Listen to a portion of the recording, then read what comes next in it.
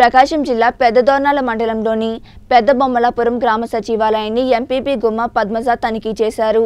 ఈ సందర్భంగా పలు రికార్డులను పరిశీలించి సిబ్బందికి పలు సూచనలు చేశారు.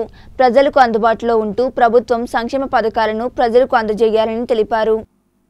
అలాగే రైతు భరోసా కేంద్రాన్ని పరిశీలించారు. రైతులకు ఎటువంటి ఇబ్బంది లేకుండా చూడాలన్నారు. ఈ కార్యక్రమంలో బొమ్మలాపురం ఎంపీటీసీలు పొందుగుల నాగలక్ష్మి విజయలక్ష్మి మరియు వైఎస్ఆర్సీపీ నాయకులు గుమ్మా ఎల్లేష్ గాలి శ్రీను వెంకట్రెడ్డి నారాయణరెడ్డి తదితరులు పాల్గొన్నారు. ఎంత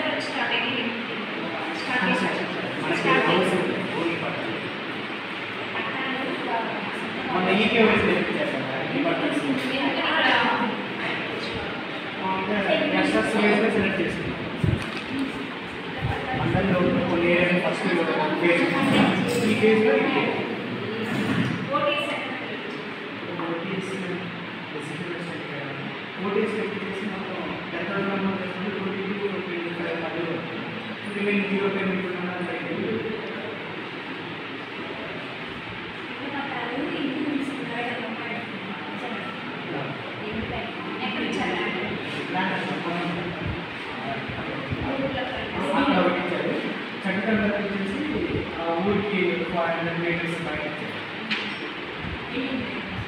స్థలం అసలు ఇళ్ళ స్థలము ఇల్లు రెండు లేని వాటి స్థలం ఇచ్చారు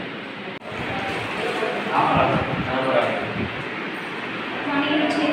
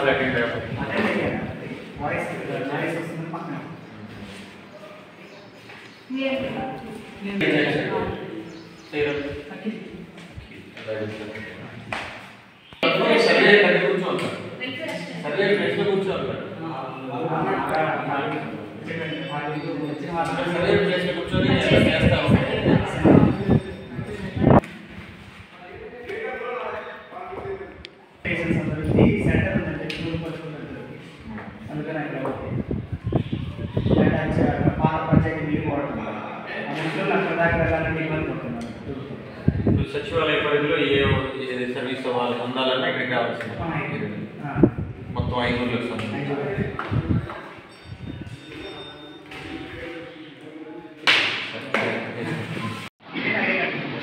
అయితే